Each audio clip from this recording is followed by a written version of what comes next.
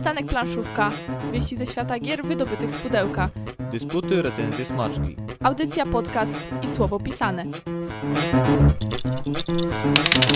Rozejdzie się po kościach co poniedziałek o 20. Mateusz, powiedz, co się dzieje dzisiaj. Y, Będziemy mieszać w czasie. No ty zapowiedz, ja już nie będę się tak tu wczuwać, bo to jest audycja, w której będziesz królował po prostu. To jest audycja, na którą się doczekać nie mogłem. Y, Ona będzie o anachrony. Anachrony. Właśnie stwierdziłam, że ja jestem w Polsce i będę mówić anachrony, acz rozumiem, że można mówić anakrony. Podejrzewam, że zapomnę przez całą godzinę, żeby tak ładnie y, to wymawiać i po polsku będzie. Ana anachronicznie będzie. Albo możemy mówić po czesku, bo instrukcja czeska jest. Albo angielska jest też. Ale wersję mamy polsko-czeską. Myślisz, Łukasz, że Mateusz po czesku będzie opowiadał o zasadach? To będzie ciekawe, naprawdę. Na pewno śmiesznie bym.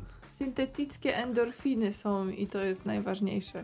Ja to mówię z perspektywy osoby y, związanej z aktywnością fizyczną, że syntetyckie endorfiny mogą uratować prawdopodobnie w post-apo trochę. A potem rozprowadzałbyś audycję na cedeczku. Graliście w anachrony?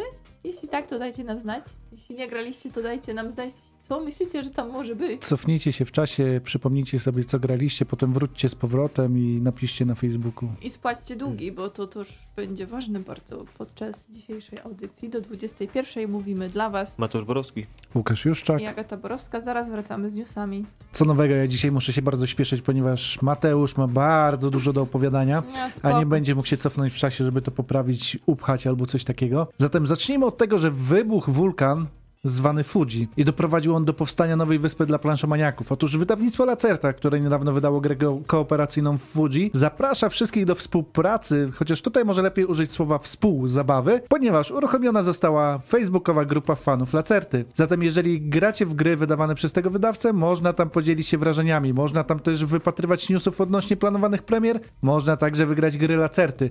Obecnie na przykład trwa konkurs, w którym do wygrania są gry wydane w 2019 roku, więc zapraszamy do dołączenia.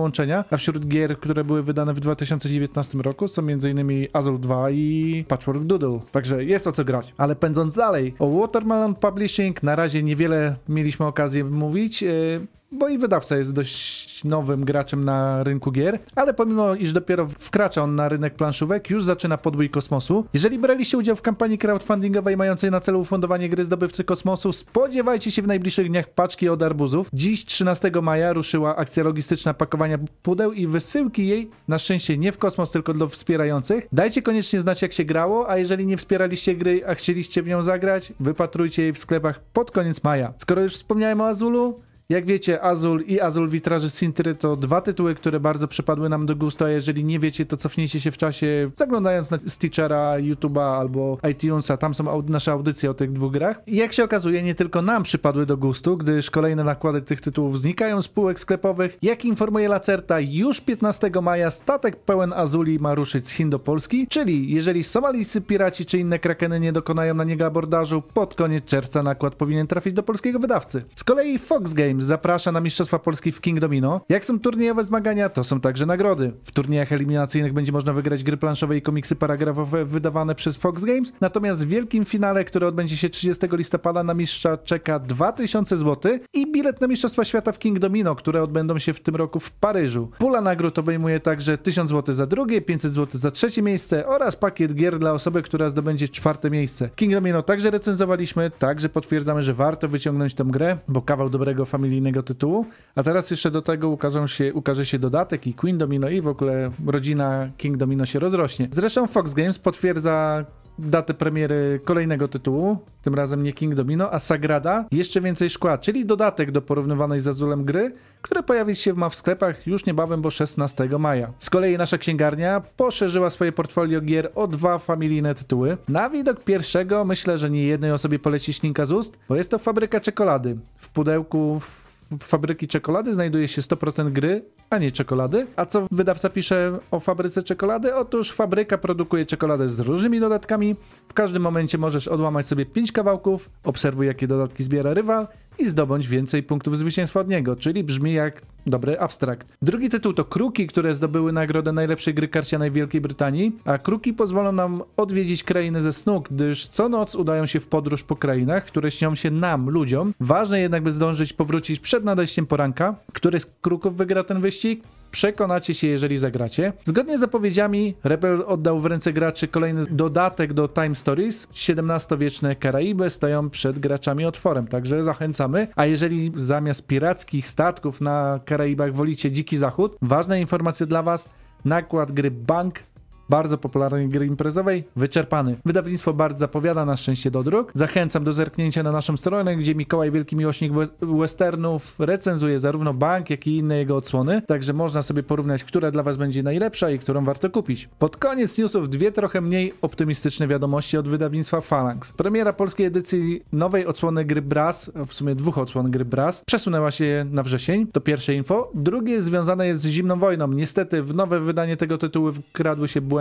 Na stronie wydawcy możecie pobrać eratę wskazującym dwa błędy w instrukcji, trzy na kartach i jeden niestety na mapie. Poprawki możecie wydrukować, nakleić na kartach bądź wsunąć do koszulek. Też możecie ten tor, który jest błędnie wydrukowany na mapie, także sobie tam zakleić. Można pokombinować. Nad tą grą wisi jakieś fatum, bo co wydanie to coś się działo. Portal Games rozpoczyna przedsprzedaż nowej gry Władimira Suchego, czyli autora takich tytułów jak Pulsar 2846, który zdobył nagrodę gry roku. A spodziewać się mamy gry bardziej zaawansowanej, coś dla miłośników gier takich jak Teotihuacan czy Mage Knight. Grze, w której będziemy kierowali rozwojem własnych podwodnych miast. Jeżeli jednak wolicie trochę lżejsze tytuły, portal informuje, że Osadnicy Królestwa Północy, czyli nowa gra w klimatach osadników Narodziny Imperium, jej premiera będzie miała miejsce równocześnie ze światową premierą, czyli około dwóch tygodniach po GenConie. A na sam koniec, jeżeli wypatrujecie premier, pani premier, pan premier, nie, nie chodzi o wybory, jeżeli wypatrujecie co w Rebelu piszczy, oprócz tego, że zawitał tam nowy gracz na, pod, na pokładzie, czyli Tomasz Międzi, którego możecie kojarzyć z Lucrum Games, potem z kanałów facebookowych, a teraz się okazało, że dołączył do ekipy Rebela. Trzymamy kciuki, mamy nadzieję, że dużo dobrego z tej współpracy wyjdzie.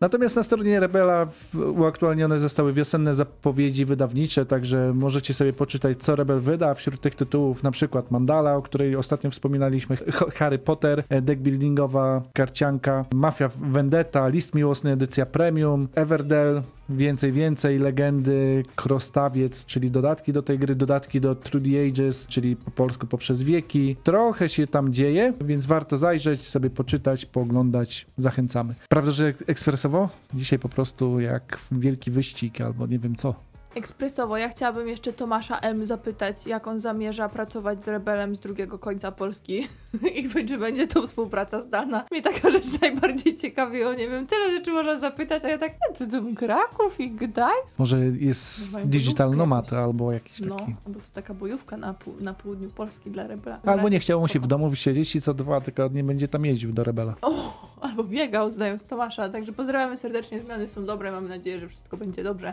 A my tymczasem będziemy lecieć już za anachrony? Za anachrony? Co za nazwa? Anachrony. Anachrony. Chrony. Nie będziemy wam tutaj już muzyki dużo puszczać, zresztą jak słuchacie podcastu, to i tak ta muzyka w ogóle gdzieś tam umyka, a na dzisiaj nie mamy żadnej specjalnej playlisty, więc od razu Mateusz, który tutaj się pięknie na Facebooku y, z grą dwoma pudłami prezentował, będzie opowiadał. Pozwolimy czasem się wtrącić.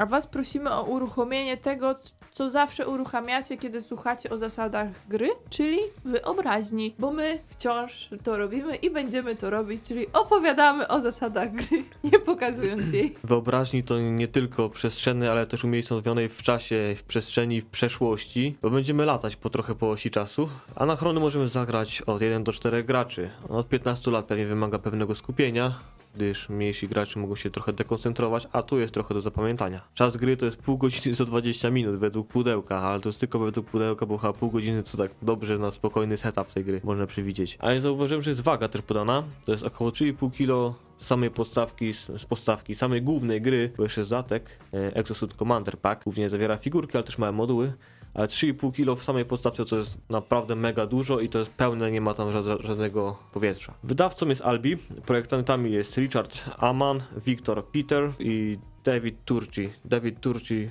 Możemy go znać z różnych wariantów gier solo. I tutaj tak samo Fanachrony zrobiły wariant gry solo. E, Ilustratorami jest Willo Farax, Laszlo Fejes, Laszlo Fork, Marton Julakis, Peter Meszlenil, jakoś tak chyba. Ja myślę, że panowie, nazwiska. panowie doceniają na pewno, że w polskim radiu ktoś próbuje, w sensie nie w polskim radiu, tylko polskim radiu. Zabrzmiało poważnie. O, Ktoś próbuje ich y, imiona ładnie przeczytać. Pewnie są jakieś polskie odpowiedniki ich imion i nazwisk. łamańce językowe to nasza specjalność. Pozdrawiamy Vincenta z Detroit. Tu- tu tchła. Radzimy se jak możemy. Co znajdziemy w tym ogromnym pudle ciężkim i trzeba uważać, żeby nie, nie wysoko go umieszczać na półce, bo może spaść i zrobi krzywdę. Planszę główną, planszę dla graczy, znaczniki robotników, znaczniki rdzeniu zasilających, żetony punktu zwycięstwa, znaczniki kropli wody, sześciokątne znaczniki egzoszkieletów, karty pomocy, karty liderów, banery dla graczy z plastikowymi podstawkami, znaczniki podróży w czasie i morale, znaczniki ścieżki, kafle warpu, kafle budynków, kafle puli wydobycia i puli rekrutacji, dwustronne kafle osi czasu oraz kafel uderzenia, kafle super projektów, kości badań, kość paradoksu, dwustronny kafel akcji ewakuacji, kafle anomalii, kafle przełomu, kafle opładającej stolicy, kafle niedostępnych heksów, karty warunków końcowych, karty początkowych zasobów do draftu, notes do punktacji i żetony paradoksu. Cały czas w oczach Mateusza było widać pasję. Wszystkie elementy są tam nie bez powodu. Wszystkie się przydają. Ja myślę, że nasi słuchacze nawet wypo- wszystko wypunktowali sobie już, co tam znajdą w tym pudle. Taką checklistę można zrobić. Jak kupią, to sprawdzą. Do tego mamy w komplecie dwa dodatki. Pierwszy pozwalający manipulować uderzeniem o nazwie Dzień Sądu. To tam jeszcze ma swoją, swój komplet elementów i planszetkę. A drugi jest solidnym zestawem do gry solo z Chronobotem. Też jest komplet i nawet jak jest dodatek e, Exos Commander Pack, nawet są figurki też do Chronobota, więc jest na full wypasie, nie na doczepkę ten dodatek. Czyli prowadzi to już nas i was do wniosku, że gra jest modularna. Oj, bardzo, bardzo modularna, modyfikowalna. Jak chcemy sobie zwiększać poziom trudności, to zawsze możemy. Teraz przeczytam trochę wstęp, zajawkę z instrukcji, żeby wprowadzić nieco w klimat gry. Uwaga, klimat w euro. nie? Robimy- Uważajcie. O tam zaraz. Słuchajcie to. Świat się zmienił. W XXVI wieku nowa Ziemia powoli ponosi się po dniu oczyszczenia. Dniu, w którym eksplozja nieznanego pochodzenia o katastrofalnym zasięgu wstrząsnęła całą planetą. Większość ludzkości została zgładzona, a znaczna część powierzchni Ziemi przestała nadawać się do zamieszkania. Nikt nie wiedział, co tak naprawdę spowodowało apokalipsę. Jedynie co mogli zrobić ocaleni to szukać schronienia i poczekać aż opadnie pył. Resztki ludzkości rozdzieliły się na cztery kompletnie różne ideologie zwane ścieżkami, wyznającą pokój ścieżkę harmonii, żyjącą w jednej z niewielu ocalałych kolebek natury pełnej flory i fauny, surową ścieżkę dominacji, przemierzającą oceany w olbrzymim statku metropolii, przebiegłą ścieżkę postępu, patrzącą z góry na ziemię ze swojego latającego miasta oraz pobożną ścieżkę zbawienia, mieszkającą w rozległych podziemnych korytarzach i komnatach. Między wyznawcami ścieżek panuje kruchy pokój, lecz żyją prawie w zupełnym odosobnieniu. Ich jedynym punktem spotkań jest stolica, ostatnie niezależne miasto na ziemi prowadzone przez globalny organ zarządzający Radę Światową. No i dalej możemy poczytać o super, uber, lekkim i wytrzymałym neutronium, które dzięki dopływowi energii jest ono w stanie otwierać tunele czasoprzestrzenne. Brzmi to trochę skomplikowanie. W każdym razie XXVI wiek, to musicie wiedzieć. Czyli niebawem. Cztery frakcje. Tak, więc zaczniemy od może głównego setupu gry, bez dodatkowych modułów, czyli Dzień Sądu, czy też ten moduł z dodatku Exhaust Commander Pack, który jest petardą, bo tam też są dodatkowe. Taka pierwsza rozgrywka, wiecie, siadacie i będziecie grać zaraz. No, na sucho. Zaraz. Ale to zajmuje wszystko sporo miejsca na stole. Ledwo mieści się na stole o wymiarach 1,50 na 90 cm. Gramy w 4 osoby. Mierzyłem dzisiaj. To był szpan na stół właśnie. Tak, naprawdę jak dobrze upchamy, to może mieści się tam kubek z herbatą czy innym trunkiem. Wybieramy stronę planszy głównej, zależnie od ilości graczy, 2 do 3 lub 4 i tak ją ustawiamy. E, Od razu kładziemy tam kafel aktywacji akcji ewakuacji stroną A, nie, taką nienaruszoną na szczycie planszy. Układamy 5 odkrytych stosów kafli, anomalie, elektrownie, fabryki, podtrzymywanie życia oraz laboratoria. Karty puli rekrutacji i puli wydobycia tasujemy osobno i ustawiamy w zakrytym stosie co erę, mm, począwszy od startu, będziemy osłaniali po jednej z tych kart, które determinują jacy robotnicy będą dostępni do zarekrutowania i jakie surowce do wydobycia. No i na dole planszy układamy losowych 7 super projektów. Pierwszy z nich odkrywamy, kolejne będą odkrywane z biegiem gry, no i po czwartym kaflu robimy przerwę, gdyż podstawowa rozgrywka przewiduje wybuch właśnie po czwartej erze.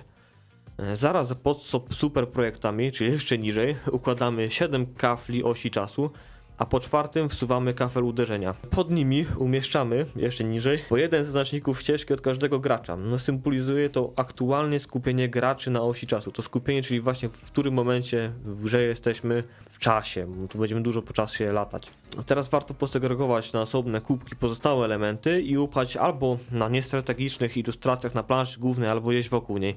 Musimy znaleźć miejsce na punkty zwycięstwa, rdzenie zasilające robotników, czyli inżynierów, naukowców, administratorów i geniuszy, przełomy, żetony paradoksu wraz z kością do nich, e, wodę i żetony surowców, neutronium, tytan, uran i złoto. A setup dla gracza wygląda nieco prościej. E, Wybiera on jedną z czterech ścieżek, takich frakcji. Dostaje odpowiednią e, planszę gracza i mini planszetkę ścieżki, na której jest miejsce na kartę lidera. Każdy z graczy otrzymuje po dwie karty liderów. Do danej frakcji wybiera jedną z nich, a każda charakteryzuje się unikalną umiejętnością, przykład kupno dodatkowego surowca lub rekrutacja robotnika przy fazie porządkowania. I rozdajemy wszystkim dobra wskazane na planszy ścieżki, to jest wodę, zasoby oraz rdzenie zasilające i kafle warpu egzoszkielety oraz znaczniki ścieżki umieszczamy w wolnym miejscu na swojej planszy. Znaczniki moralu umieszczamy na środku toru, na dole planszetki jest takie miejsce małe. I drugi znacznik tej samej wielkości służy do punktowania za podróży w czasie. I robotników, których otrzymaliśmy na starcie, rozdzielamy zależnie od stanu. Zmęczonych po lewej stronie, a aktywnych zaś na prawej osi swojej planszy. Gra toczyć się będzie przez ery, a w każdej erze jest 6 faz, a er jest 7. Brzmi jak ciężka matematyka, 120 minut to tak na początek to chyba bardzo optymistycznie. Ostatnia rozgrywka zajęła nam y, 3,5 godziny, no ale trzeba przyznać, że w sumie wyszła nam godzina tłumaczenia, nie? Tak, tłumaczenie Ale plus to nie jest setup. gry, tylko my trochę. byliśmy tacy trochę rozleźli. No, pograliśmy tak Długo, bez pinki, by, nie na czas. Wracając, mamy sześć faz. Mamy fazę przygotowania, fazę paradoksu, fazę zasilania, faza warpu, faza akcji, faza porządkowania. Piąta, czyli faza akcji jest tą główną i najbardziej też czasochłonną. Faza przygotowania. Odkrywamy super projekt, bo to jest też rodzaj budynku. Konstruujemy go to podobnie jak budynek, też musimy zapłacić za niego zasoby i musimy zapłacić za niego specjalne znaczniki. Jest bardziej kosztowny, ale daje też punkty zwycięstwa w dużej mierze, np. 6, 8 może być i daje też bonusy naginające też zasady gry czasami. Przesuwamy też stosy budowli, czyli z każdą elektrownię, czy mamy do, y, dostępne do budowy, przesuwamy o jedno obok, czyli stos nam się rośnie, coś nowego się odkrywa, mamy więcej możliwości. Starych robotników, co już nie zostali zrekrutowani na planszy głównej, usuwamy, dobieramy kartę z osobami, y, z osobami, z robotnikami, z osobami i to, co jest narysowane, po prostu układamy nowych geniuszy, tam administratorów, co zależy, co przyjdzie, co będzie do rekrutacji. I zasoby tak samo, faza przygotowania już jest za nami. Możemy przejść do fazy paradoksu. Faza paradoksu jest pomijana, pomijana w pierwszej erze, gdyż yy, trzeba przejść fazę czwartą pierw, czyli fazę warpu. Więc pierw może tę fazę warpu, a potem przypomnę, to jest faza paradoksu. Faza warpu, chyba to jest główny, kluczowy element anachrony. Gracze mogą mieścić kafle warpu na aktualnym kaflu osi czasu, by przysłać zasoby w przyszłości do teraźniejszości. Czyli możemy sobie wypożyczyć jakieś surowce albo nawet cały egzoszkielet przyszłości na teraz, gotowego już do działania, do wykorzystania, do budowy, do czegokolwiek. Jak to robimy? Odbywa to się na podstawie takiej ciemnej, w ciemno licytacji. Każdy bierze te żetony w warpu, które ma w- swoim kolorze do ręki. To są takie trójkąciki. Wybiera zasób, który, po który potrzebuje. Możemy wybrać od 0 do 2 takich żetonów. Skrywamy wybrane żetony w, ręk, w ręku. Wszyscy naraz pokazujemy, kto co wybrał i po prostu układamy na osi czasu te trójkąciki i po- pobieramy zasobów ogólnych, zasoby, które możemy wykorzystać już w kolejnej fazie, w sumie fazie akcji, czyli już możemy za to płacić i wykorzystywać dalej. I właśnie nic nie jest za darmo, gdyż dostaniemy teraz zasoby, będzie kolejna era i dojdziemy do tej fazy paradoksu, czyli do tej fazy drugiej i właśnie gracze, którzy też nadmiernie obciążyli oś czasu przez właśnie to warpowanie, muszą rzucać kością paradoksu. Ta kość paradoksu może wyrzucić 0 do 2 znaczników paradoksu. Jak zdobędziemy trzy takie znaczniki, powodujemy anomalię w czasoprzestrzeni, zrobiliśmy taki nieporządek w czasie, że musimy za to zapłacić, czyli otrzymujemy anomalię. To jest taki rodzaj jakby budynku, który jest szkodliwy dla nas. Umiejscowimy go w górnym, lewym, wolnym polu, jeśli jest tak, jak nie, to wybieramy. Każda taka anomalia da nam minus 3 punkty zwycięstwa, zapycha nam miejsce i możemy to odetkać po prostu płacąc pewne surowce i poświęcając jakiegoś naszego robotnika. Nie polecam tego zbierać, ale czasami jest to bardzo kuszące. Czasami nawet są takie warunki, żeby właśnie zbierać anomalie. To jest cały paradoks. Rzucają ci gracze właśnie, którzy najbardziej się wypożyczyli, czyli jak rozpatrujemy każdy kafel od lewej do prawej, każdy ka kafel osi czasu, jeśli dwie osoby mają tyle samo zapożyczonych tych dóbr, tych kafli i warpów, których tam jest, to wszyscy rzucają kością paradoksu i zdobywają tyle właśnie tych żetonów paradoksu. No można powiedzieć, że to jest taki rdzeń tej gry chyba, to zapożyczanie się i jest to ważny mechanizm i nawet o tym chyba mówi gra, nie wiem czy Mateusz się zgodzisz, ale ja widzę, że gra mówi to przez to, że punktujemy za to, że udaje nam się te długi spłacać. Zachęca nas do tego, żeby to robić, bo widać, że to jest profitowane potem. Jak to w ogóle spłacić, żeby nie mieć potem długów,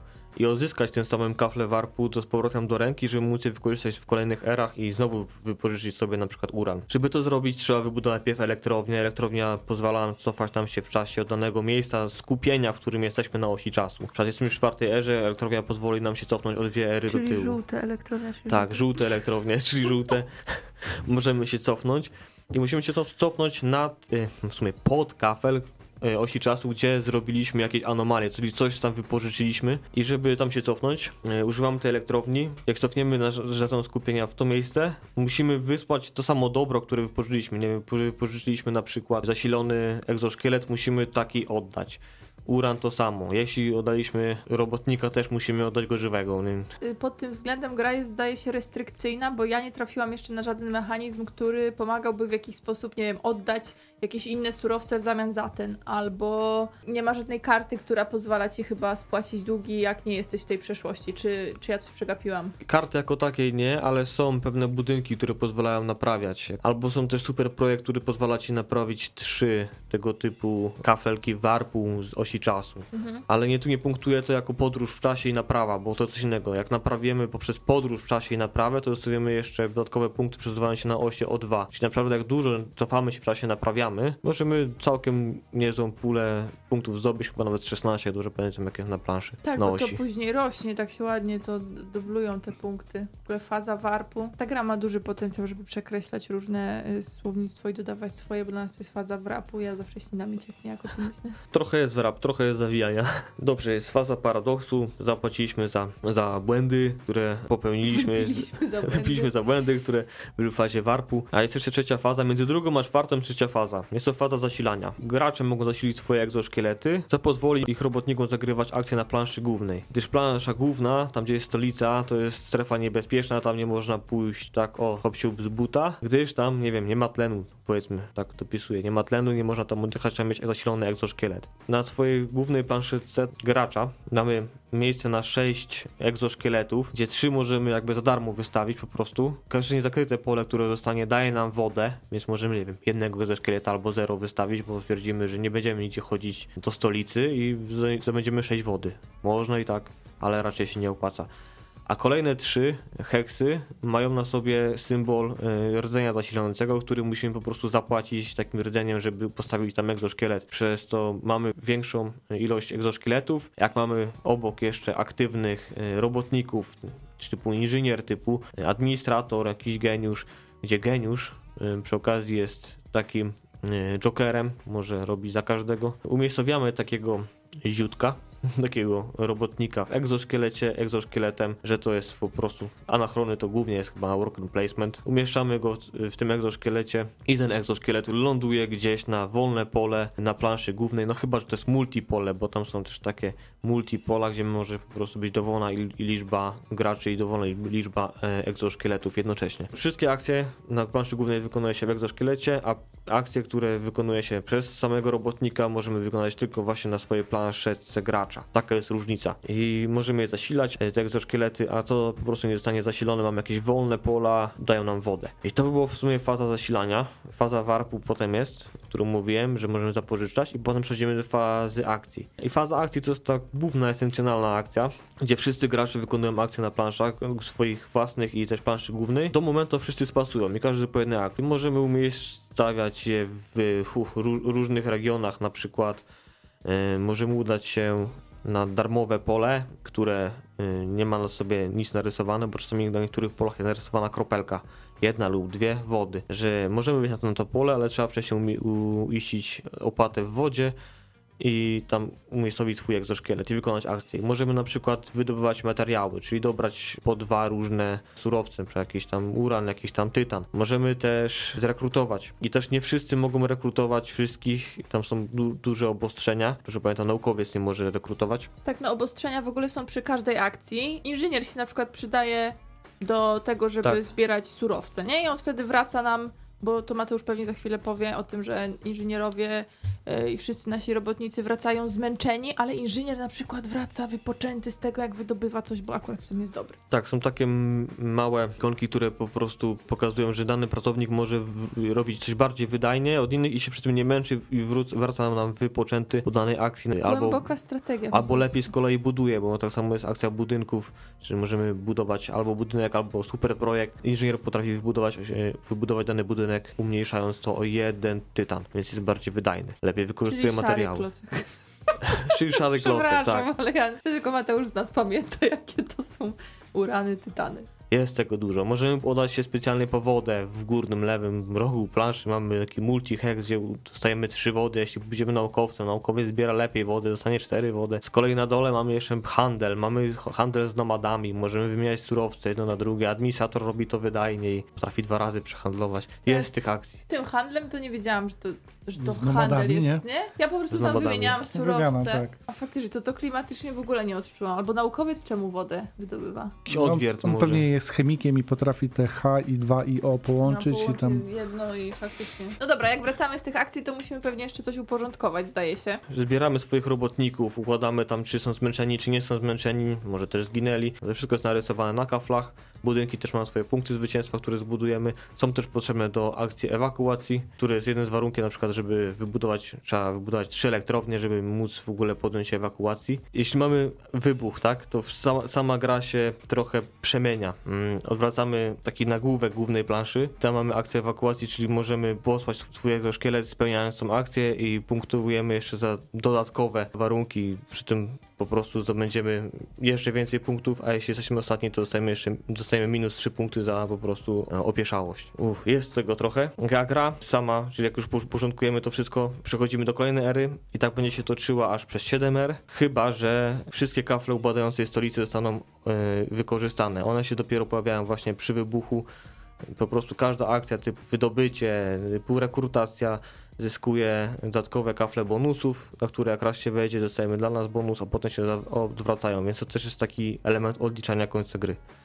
I w sumie to tylko dwa warunki, które determinują, czy skończymy szybciej, czy później daną rozgrywkę. To tak z podstaw, bo ogólnie potem jeszcze jest taki wariant Dzień Sądu, kiedy to możemy się podzielić na naukowców i powiedzmy osoby bardziej religijne i tym bardziej religijnym szybciej zależy na tym, żeby już nie powiem co zrobiło. Na 5 liter uzupełnijcie sobie, a naukowcom e, zależy na tym, żeby jednak przetrwać i nauka szła dalej i tak dalej, i tak dalej, więc e, wariantów naprawdę jest sporo. E, Łukasza włączając tutaj do naszej dyskusji już 5 liter, Zjadło. Y, A dył, to jest 6 liter, A. to był wulgaryzm, co sobie pomyślałam. Nasi słuchacze pewnie wiedzą, co może zrobić wybuch Kabum! y, czasie przeszłym. W każdym razie, Bigaboom.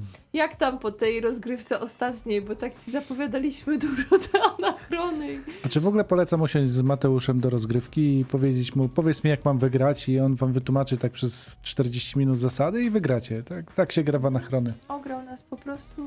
I to jest takie... Worker placement, tu widać na Stone Age'u ćwiczyłeś To po jest prostu. takie fajne uczucie, kiedy wiem, że Mateusz się nastawia na tą rozgrywkę, że czeka na nią, namawia mnie na to. Jest, jest jeszcze jedna taka gra, na którą czeka i nie wiem, czy doczeka w tym sezonie, Run Wars. Tak. I też już mi od czterech lat chyba mówi o tym. Tutaj się udało mu szybciej, siada taki podekscytowany, jako jedyny przy stole wie, że to jest tytan, a to uran, a to dla mnie to było szare, fioletowe, Złoto. tam no, złoto, niech będzie złoto. Po czym podliczamy punkty i wygrałem. No. No i jeszcze ja byłam druga, to jest najgorsze. E, Mateusz, co ci się najbardziej podoba w tej grze? Powiedz słuchaczom naszym.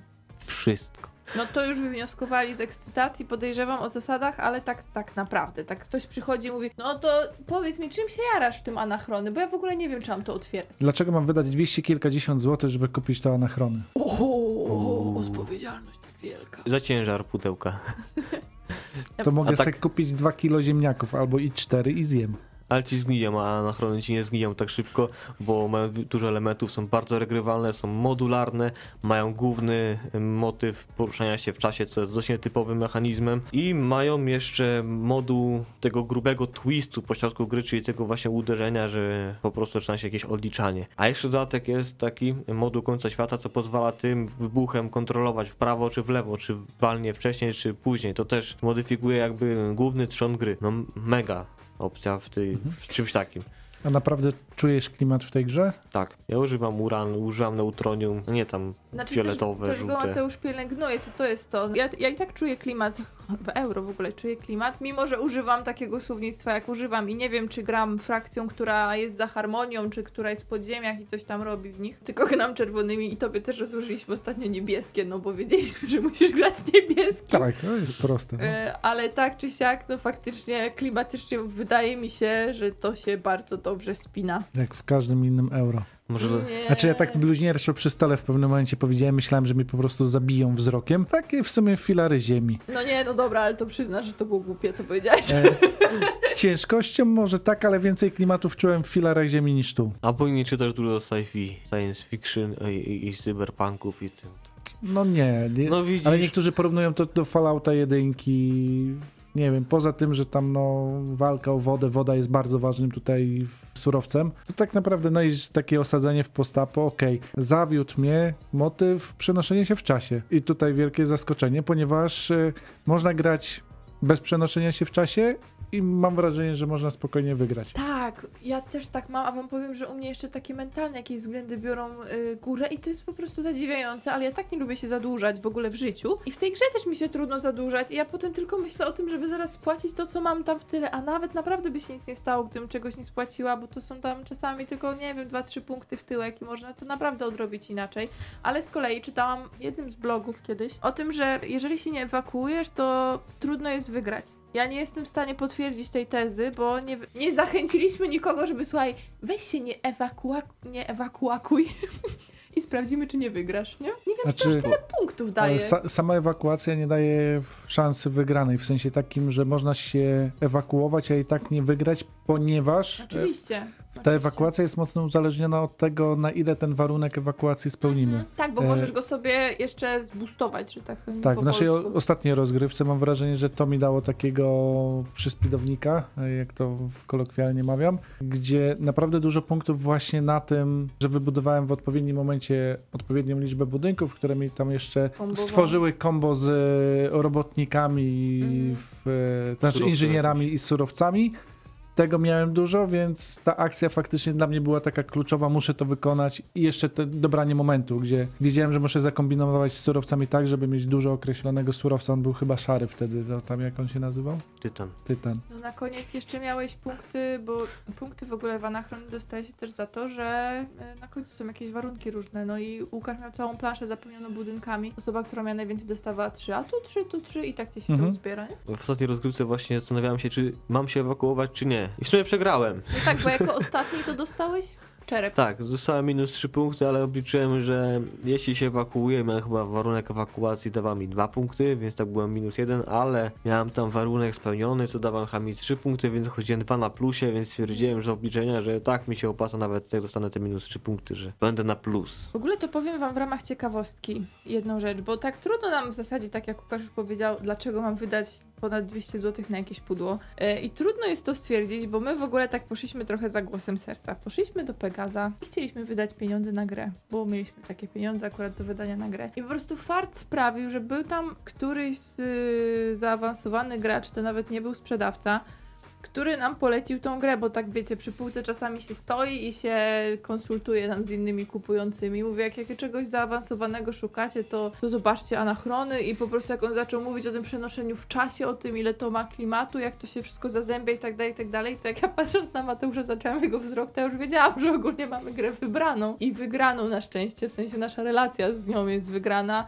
No bo nie żałujemy raczej tego, że nie wzięliśmy, nie wiem co tam ciężkiego mogliśmy wziąć zamiast tego. Dominiona. Mogliśmy wziąć 5 dominionów w tej cenie, ale nie no, przesadziłam. ale wiecie, 5 pudełek najemników, z czego tylko 3 części są yy, i pewnie to też mielibyśmy radocha, ale tutaj akurat wybór był dobry. Jeśli tego mało, to jeszcze jest Exosuit Commander Pack. No tak, to już kupiliśmy przy innej okazji. Tak, czyli taki dodatek, który naprawdę zawiera głównie figurki. Mamy te egzosuty, egzoszkielety, jakkolwiek to zwał i to są po prostu zwykłe takie tekturowe heksy, na którego po prostu kładziemy kolejną tekturę, czyli robotnika i taki stosik, mini stosik jest po prostu e, robotnikiem w egzosucie, którego wysyłamy. I to tak mało klimatycznie wygląda, mało odstaje, mało wygląda. A jak weźmiemy te egzosuty, to są konkretne figurki, dość duże, które mają miejsce na górze, na głowie, takie wycięte, że możemy tego naszego robotnika tak sprytnie włożyć i wtedy widzimy, jakiego typu robotnik jest w tym egzosucie i możemy go tak klimatycznie postawić. Ma jeszcze dodatek taki moduł, że ten egzosuty możemy rozbudowywać tam i jeszcze możemy mieć taką jakby wypożyczalnię tych egzosutów, które są dla chronobota też przykład używane, takie neutralne, że możemy wypożyczyć sobie, jak tam brakuje jakiś. Okej, ale to może trochę przerażać, bo jak sobie dodamy 200 kilkadziesiąt złotych na podstawkę plus 150 zł na dodatek, przyznam, że jak usłyszałem, ja miałem przyjemność grać na cudzym egzemplarzu, czyli na waszym i od razu z tymi e, egzoszkieletami, no i no fajnie to wygląda na planszy, tak? Stoją figurki, ale tak naprawdę jak sobie pomyślałem o, usłyszałem o cenie tego dodatku i sobie pomyślałem, czy tak naprawdę jako gracz go potrzebuję, stwierdzam, nie. Ale to jest chyba jedna z takich gier, której nie potrzebujesz. To tak jak my wiele razy wspominamy, Ale- że jeżeli ma znajomy, a chcesz w to grać, to masz u kogo, Okej, nie? ale też mi chodzi o to, że jakbym miał podstawkę, nie czuję takiego parcia, żeby dla samych e, figurek kupić, e, kupić mm, dodatek. Niektórzy właśnie byli zawiedzeni, jak ta gra wychodziła w Polsce, jak Albi zdecydowało się na wydanie tej gry, że dlaczego nie będzie od razu w pudełku tych egzoszkieletów. Moim zdaniem odpowiedź jest prosta, żeby zracjonalizować cenę, bo jest to moduł, który jest fajny dla geeków, ale niekoniecznie wpływa na rozgrywkę, bo gdyby to jakoś zmieniało rozgrywkę, w sensie takim, że faktycznie bez tego czuję, że gra nie działa, to okej, ale to jest taki dodatek fanowski moim zdaniem. Tak, jak najbardziej, dlatego też my wyszliśmy z Pegaza z podstawką, a potem e, to już była kwestia prezentu, Mhm. nie? Że ten dodatek się pojawił, a teraz w ogóle będzie duże pudło, gdzie można dostać, wiecie, całość w jednym, nie wiem, czy Kickstarter, czy, czy coś tam się zadziało, że, że będzie taka możliwość. Ale same figurki, które są, jakie już są i tyle kosztują, są bardzo dobrej jakości, nie? Są szczegółowe jak To prawda. No, Nic ci się nie wygina tam, nie, nie odkształca, nie? Tak, Fajnie jak to. Cool Mini or Not by to wydało, takie figurki też by się nie powstydzili, myślę. Mhm. Wizualnie spoko, nie? Tylko chodzi mi o to, że funkcjonalnie nie zmienia to Mhm. gry. Jasne. Dlatego, jeżeli macie ograniczony portfel i się martwicie, że jak nie kupicie tego dodatku, to będziecie mieli upośledzoną wersję gry? Nie. Nie, to jest takie połechtać sobie, wiecie. Tym Jak bardziej, że jeszcze dodam, że tak naprawdę ja na razie nie mam ochoty grać w dodatki, bo myślę, że ta podstawka daje na tyle dużo zabawy, że spokojnie można się obyć bez dodatków. Tak się zmartwię cię, Mateusz, nie? Jak mnie znowu zaprosisz na anachrony, to ja chcę zagrać w podstawkę, żeby na przykład spróbować sobie wersję B, potem, No żeby właśnie, w spróbować inną podstawce, frakcję, Nie? potem, żeby pokombinować e, z tymi modułami, które są w samej Mhm. podstawowej wersji. Potem, żeby się pościgać z tym przeciąganiem liny, wybuchnie, nie wybuchnie, wybuchnie, nie wybuchnie. Kurczę, ta gra ma naprawdę dużo w sobie. Więc jeżeli nie gracie mega dużo, to możecie sobie odłożyć e, dodatek na późniejszy okres. A jeszcze inaczej masz kafle, powiedzmy osi czasu widziałem i warunków końcowych, gdzie masz taki ołówek narysowany, więc możesz nawet własny stworzyć. Ale nam da Patchwork doodle. No, to tak porównanie. Wiecie co, ja bym powiedziała jeszcze słowo o skalowaniu, bo najczęściej, jako że ta gra leży u nas y, w domu, to gramy z Mateuszem we dwoje. Mam wrażenie, że jest to wiele ludzi na planszy, bo ostatnio odczuliśmy, w sumie w czwórkę i w trójkę też graliśmy, że jednak gdzieś tam masz trzy pola, nie? Że możesz sobie zawsze iść po surowiec, że możesz zawsze iść i kogoś zatrudnić. A tak jak już grasz w trójkę, to, to jednak to trochę gorzej wygląda. Przynajmniej z tymi zbudowaniem budynków. To tam masz tylko dwa. Szybciej musisz zapłacić, no bo wiadomo, że wybudować też możesz tam idąc na samą górę, ale wtedy już koszt jakiś ponosisz. Bo plansza główna jest krótsza, z dwóch do trzech jest mm, o jeden heks mm, mniejsza, uszczuplona, Mhm. dla czterech No tak, ale jak idziesz od góry, to ci się jakoś to skaluje, tak? Masz ten Tak. mechanizm skalujący. Tak, Na tak. cztery masz najwięcej tego, na trzy plansza zaczyna cię ograniczać, a jak przeskakujesz z 3 na 2, to już nie masz tego ograniczenia, więc Mhm. tutaj faktycznie będzie luźniej i niektórzy mówią, że słabiej. Ciekawi jesteśmy też, co, co sądzicie, jak graliście w takim składzie. Ja bym jeszcze powiedziała o tej instrukcji, bo to nam trochę bolączek sprawiło, ale nie dlatego, że cała instrukcja jest źle napisana, bo ona jest okej, może nas sobie połączyć tam wątki i w ogóle, tylko kwestia na przykład wymiany surowców, to pamiętam już jakiś czas temu nam sprawiła kłopot, bo nie wiedzieliśmy, czy dwa różne można wymienić na coś, czy muszą być dwa takie same, bo też tak dziwnie jest to narysowane na planszy. I polska instrukcja mówi o tym, że dwa takie same, przynajmniej tak to rozumiemy. Tak, jest y, akcja Handel z Nomadami właśnie, mm, gdzie wymieniamy neutronium i jest napisane wymień jeden neutronium na dwa tytanu lub dwa uranu lub dwa złota lub vice versa. Tak samo dwa tytanu, dwa uranu, dwa złota No lub na trzy wody nie? lub vice versa. I to wskazuje na to, że są dwa takie same zasoby, a faktycznie jest dwa, mogą być dwa różne, czyli złoto plus uran. Mhm. Tak, już to nam gra pokazała, że, Mhm. że fajnie jednak by było, jakby to były dwa różne i faktycznie jest, że dwa różne, także y, warto, warto na to zwrócić uwagę. I Łukasz znalazł jeszcze, że na BGG jest wersja poprawiona, taki fakt, tak? Uzupełniony w wersji angielskiej, po polsku jeszcze, po polsku jeszcze nie ma. Może ktoś się zdecyduje Znaczy przetłumaczyć. myślę, że nie, to znaczy chyba, że fani zdecydują Fani, się. no. Bo niestety, pomimo, że z tego co słyszałem, bo tutaj nie to, że ja jestem taki mądry, pozdrawiam kolegów z Gradania, kiedy oni kiedyś tam recenzowali, to wspominali o tym, że pomimo, że gra się ukazała już jak ten fak, ta wersja taka poprawiona wyszła, to polska instrukcja niestety jeszcze tego nie zawierała, czy też nie zawiera, więc tutaj warto sobie wziąć pod uwagę, chociaż nie można powiedzieć, że to psuje rozgrywkę, tak? Tutaj nie jest to tak, że ta gra przez to jest broken. No chyba, Nie. że po czesku przeczytacie instrukcję, to wtedy może być trochę To wtedy kłopotu. się uśmiejecie. No te syntetyczne endorfiny, które były wspomniane na początku audycji, to są y, w super projektach, które też czasami warto zgarniać, bo one chociażby są duże. Trochę kosztują więcej, ale dają profity i poza tym zajmują dwa pola, tak? Na planszy gracza. Ja też ostatnio miałam takie pytanie i stwierdziliśmy w końcu, że, że nie. Już mówię o co chodzi. Moim celem było mieć trzy elektrownie, bo byłam tymi bordowymi, czyli tych, co są w podziemiach. I super projekt chciałam sobie położyć na te elektrownie, no ale stwierdziliśmy, że chyba tak nie powinno być i ten super projekt musi wylądować gdzie indziej, a ja powinnam mieć trzy prawilne, żółte kafelki, żeby móc się ewakuować. Jeśli jest inaczej, to piszcie. No taki był nadruk. Elektrownia to elektrownia. Super projekt to super Mhm. projekt. No. On ma nawet swój własny symbol. Tak przypomina mi trochę jak są proszki do prania. Tak, więc nie mogę. atom. Nie mogłabym się ewakuować w taki sposób, jeżeli miałabym tam super projekt. Tak, że one są bardzo użyteczne i też mogą zapunktować na końcu. Osoba, która ma najwięcej e, super projektów, też może dostać trzy punkty na koniec. Nie wiem, te karty chyba też są wymienne, nie? Tam losowo wchodzą, co punktuje na koniec. Tak, dobierasz y, 5. Także regrywalność jest po prostu 100%. No, jak ktoś zrobi taką samą rozgrywkę, to ja nie wiem, musiałby się mega postarać albo po prostu nie składać gry i, i grać wszystko to samo. No tym bardziej, że punkty naprawdę tu można zdobywać na ileś różnych sposobów. To nie jest to, że Mhm. gra nam determinuje wszystko. Fakt faktem mamy rzeczy ważniejsze i mniej, mniej ważne, bo można się zastanawiać, tak jak wspominałaś o tym e, ewakuacji, czy gra nas zmusza do tego? Może w jakiś sposób zmusza. Mamy ten surowiec w postaci wody, która jest, e, no myślę, że naprawdę ważnym surowcem i gdzieś tam cały czas człowiek kombinuje, żeby go mieć. No ale z drugiej strony zawsze w grach jest. To tak samo jak w Wspomniałaś o Stone Age, niektórzy narzekali, że trzeba tam co, co rundę karmić. W Agricoli jeszcze bardziej narzekali na to, że karmienie było takim naprawdę determinującą rzeczą. No to jest cecha gry, tak? Ktoś Mhm. sobie wymyślił pewne mechanizmy, które się zazębiają. Tutaj trzeba oddać, że nie ma nic takiego super nowatorskiego, ale jest wszystko tak ładnie połączone, że to ta gra gra. No A. tak, krótka kuderka jest taka spoko w sumie też, bo wiemy, że po tym wybuchu będzie jeszcze krócej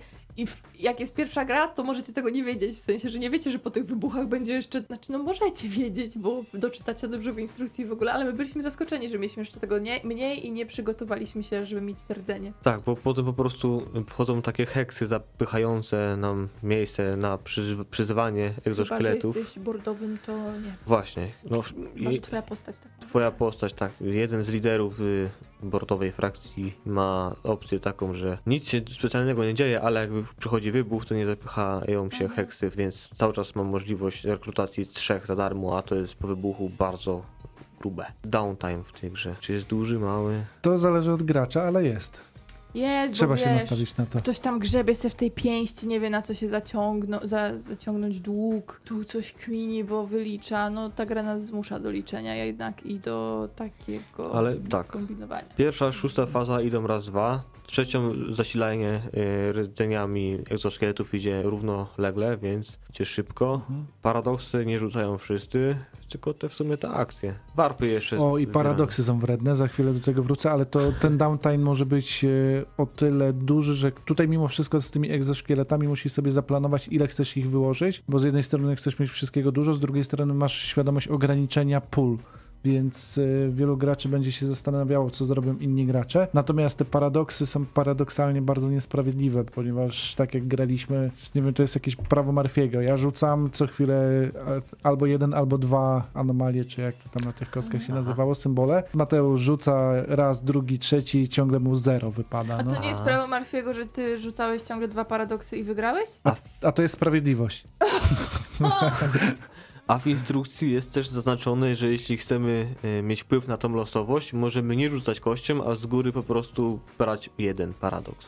I tyle. I może być. No można, no. ale chociaż to jest taki element hazardu, który trochę emocji nam przy stole też wywołał. Na anachrony powinniśmy mieć półtorej godziny, jeżeli nie dwie audycji. I na pewno nie wyczerpaliśmy tematu, ale liczymy na to, że odezwiecie się pod y, podcastem na YouTubie bądź gdziekolwiek na Facebooku. Możemy sobie tę dyskusję kontynuować. Z naszej strony wrażenie jak najbardziej ok, nie bez powodu gra była nominowana do y, gry roku zaawansowanej. Dla graczy zaawansowanych zdecydowanie coś do spróbowania, natomiast początkujący dajcie sobie na luz i poznajcie coś innego najpierw, Prób- żeby się nie Mhm. przytłoczyć. Próbowałem namieszać w czacie, żeby wygrała, ale jednak się nie udało. Może ktoś jednak zajawkowił się na tą anachronową grę. Mam nadzieję, bo to jest całkiem przyjemna gra, szybka, turniejowa. Szybka turniejowa. Turniejowa. No, To tak w ramach żartów suchych na koniec audycji. Chętnie z wami podyskutujemy dalej, no tylko wiecie, pilnujemy, żeby nas zdradę nie wyrzucili, więc dziękujemy za dzisiaj i już zmykamy, bo 21. Zaraz mówili dzisiaj dla was. Mateusz Borowski. Przystanek planszu.